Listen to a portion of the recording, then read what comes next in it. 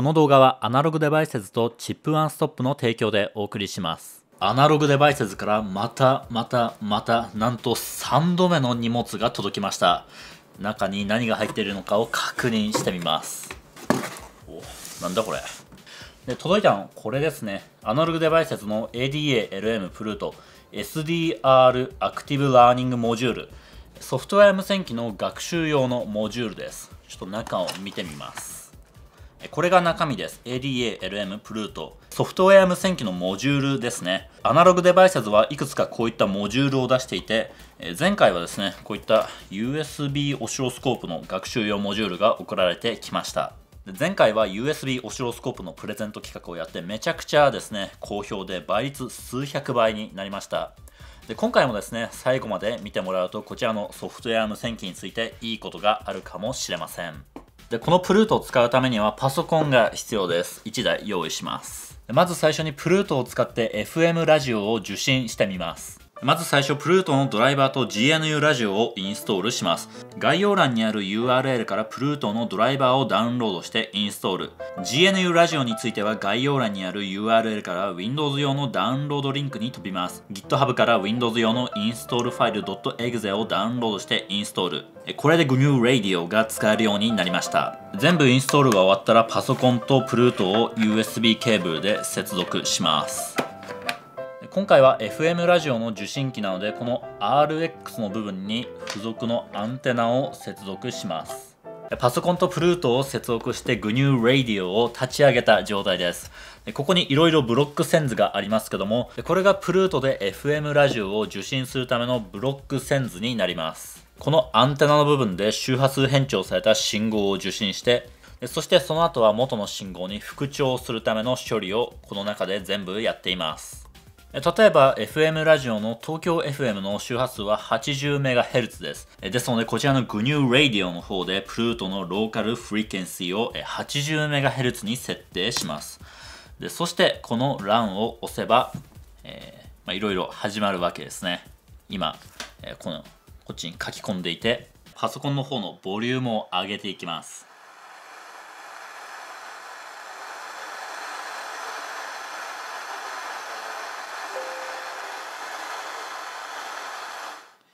あの砂嵐だけ何も聞こえないですね。ちなみに音が出るのはこのプルートの本体ではなくてパソコンの方から受信した音声が出てきます。こんな感じでですねちょっと基本的に周波数合わせたんですけど雑音しか受信できていませんね。どっか間違ってるのかな？一応ですね FM の放送を受信できるようにこの長めのですねアンテナを用意しました、まあ、波長に合わせたアンテナですね。これに付け替えて確かめてみます。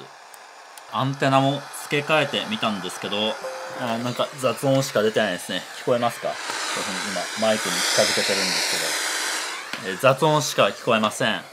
なぜかうまくいかなくてこのプルートの説明書を改めて読んでみました。でプルートの中のローカルオシレーターの周波数が 325MHz から 3.8GHz でしか動作できません。なのでこのアンテナから電波は入ってきているのですがその電波をこの中でうまく処理できていない状態でした。FM ラジオを受信できないじゃん。この後いろいろ調べてみたのですがプルートのファームウェアを改造すれば FM ラジオを受信できることが分かりました。アナログデバイスの公式ウィキにそのやり方が書いてあります。結構簡単にできます。まず最初パソコンにテラタームをインストール。192.168.2.1でプルートに接続するかシリアルのところからプルート SDR を選びます。画面が出てきたら何か適当なキーを押します。ID はルートパスワードはアナログです。プルート SDR が表示されました。そこにこのコマンドを打ちます。そして最後リブートすれば OK です。で今何をやったかというとプルートの中に使われているトランシーバーの IC がありますがえそれをですね上位互換のものと認識させる作業をしました。この作業をすることでプルートのローカルオシレーターの周波数は 70MHz から 6GHz まで動作可能になります。次こそはうまくいってほしいわけですけどどうでしょうか？ランします。トイレに行った帰りとか一回なんか来てっかなみたいに見ると。すいませんえーちゃんと聞こえてますね。でで先ほどから言っているようにこちらのプルートの方から音が聞こえるのではなくてえこのプルートを接続しているパソコンの方から音が鳴ります。結構もう芋煮会があったり、はい。あの猪苗代湖のライブがあったり広告のこうイベントがあったりとかちなみにこのアンテナの長さとかによって受信の感度が結構変わりますね。アンテナが短かったりするとそう受信の感度があまり良くないですね。音が結構ガバガバです。アンテナを伸ばすと、割といろいろな動きがある中でえークリアに音が聞こえるようになりました。であとはこのアンテナの方向とかによっても受信の感度は結構変わりますね。この3年に奪われたものっていうのは非常にやっぱ大きかったなと思うし私の環境ですとあっちの方向にアンテナを向けると感度が極端に悪くなります。それぞれ。自分の人生の中のどの時代。今は東京 FM だったので周波数は 80MHz でしたが例えば、えー TBS ラジオの場合は、えー 90.5MHz ですので、えーローカルオシレーターを 90.5MHz に設定すれば受信できるはずです。あこれも受信できてますね。ちょっと音質はあんま良くないんですけど。このラジオのですねアンテナの方向を調整すれば結構いい感じに受信できますね。こういうふうにソフトウェア無線機でラジオの受信ができるわけです。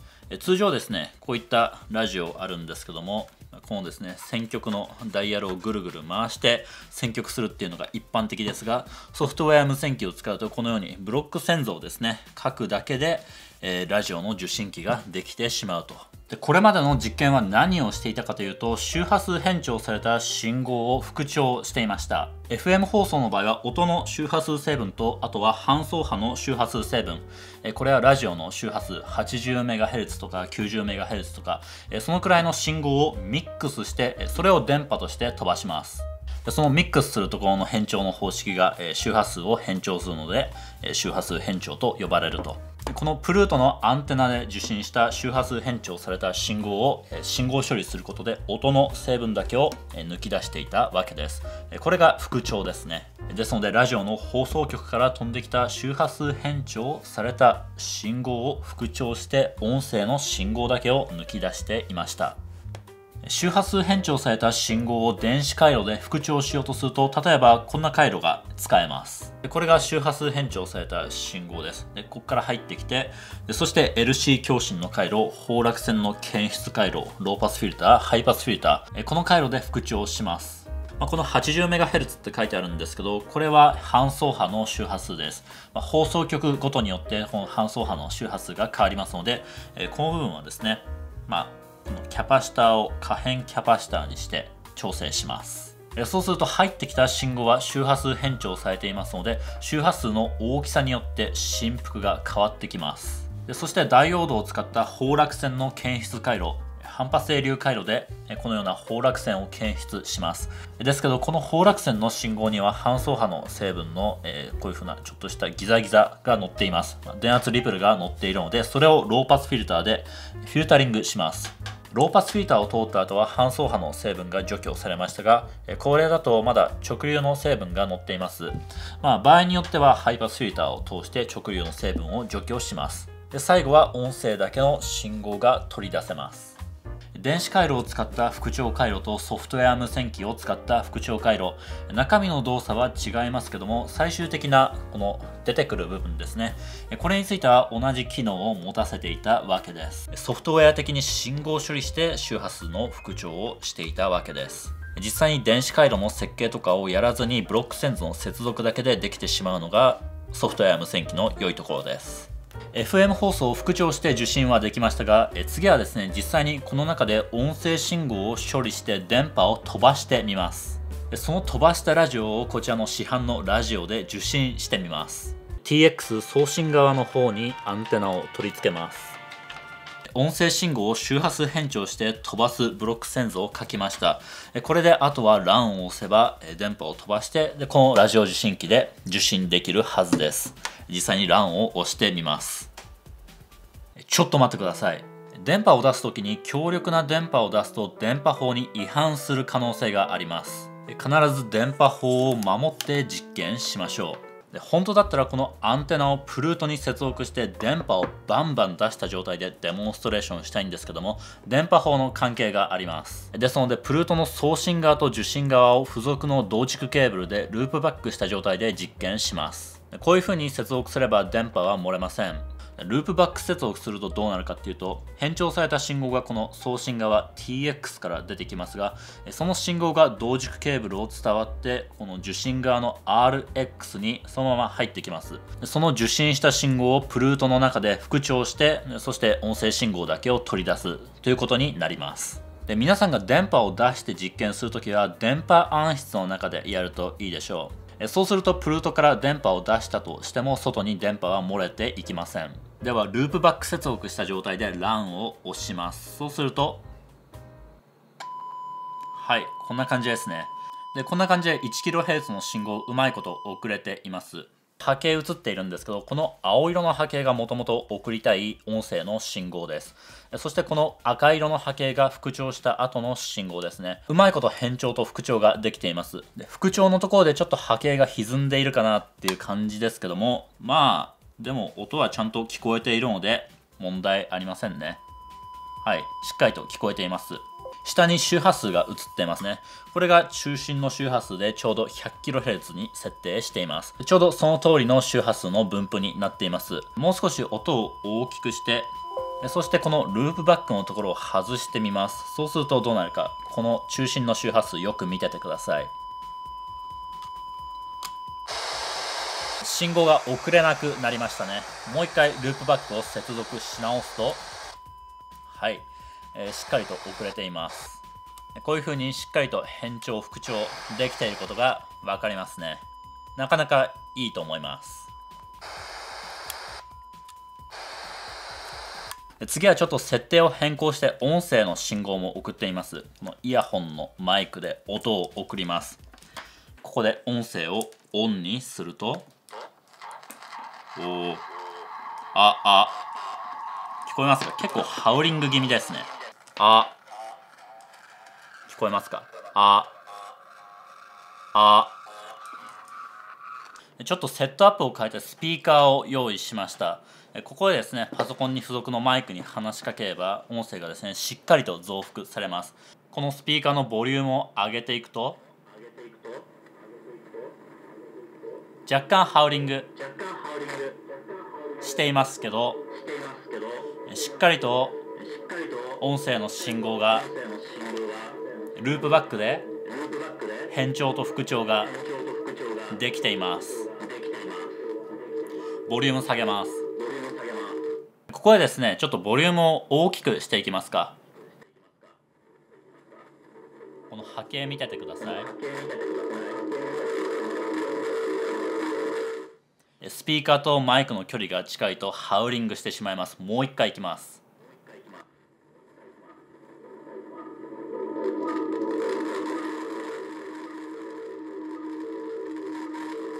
当然スピーカー側のボリュームをゼロにすればハウリングは収まります。ちなみに今回はプルートでできるごくごく一部のことを紹介しただけです。ラジオ以外にも例えばデジタル変調の勉強とかにも使えます。付属のアンテナ2本を使ってプルートで送信してプルートで受信するみたいなこともできます。外部に電波を飛ばしたくない場合はプルートに付属していた線を使って送受信の接続ができます。いやー毎回こんな楽しいものをもらってアナログデバイスさんありがとうございます。ん？皆さんも使ってみたいですって？なんと今回豪華プレゼント企画があります。前回の USB オシロスコープの時もプレゼント企画をやってその時ものすごく好評で倍率数百倍になってしまいました。で今回はそれを考慮してもっとたくさんの人にプレゼントが当たるようになんと20名の方にこのプルートをプレゼントします。いやーさすが気前がいいですね。前回は抽選に外れた人がかなり多くなってしまってそういった人たちには何もできませんでした。ですが今回は電子部品通販サイトのチップワンストップともタッグを組んでなんと抽選に外れてしまった人全員にクーポンを配布予定です。概要欄にあるチップワンストップの抽選サイトに飛んでもらうと今回のキャンペーンに登録できます。あと当選した人でプルートが届いたら Twitter の方で画像付きでツイートしてもらうと非常に嬉しいです。でもちろんツイートしてもらわなくても全然 OK なんですけどもしツイートをしてもらうとアナログデバイスの担当者チップワンストップの担当者も非常に喜びます。この機会にプルートを使ってソフトウェア無線の勉強をしてみませんか？ということでぜひ応募の方興味ある方お願いします。で毎回恒例ですが中身を確認します。えー、高周波の回路の設計が見えますね。ここに入力と出力の端子がありますが、それぞれがこの RF トランシーバー IC につながっています。これはアナログデバイス製の AD9363 と呼ばれる RF トランシーバーの IC ですね。動画の途中でファームウェアを改造していましたが、それはですね、この AD9363 をもう少し性能の高い AD9364 として認識させていた、そういった作業をやっていました。でこれを見てみると実際に送受信は1チャンネルずつしかやってないんですけどこの IC 自体がですね4チャンネル対応してんですかね。この回路を見てみると実際に4チャンネル分使えそうな雰囲気です。で確か ADA-LM のシリーズはオープンソースだったと思うので、まあ、自分で改造すればこの部分も使えるっていうことですかね。というわけでこの機会にぜひプルートを入手していろいろと遊んでみてください。それでは最後まで動画のご視聴ありがとうございました。T シャツ販売中詳しくは概要欄から。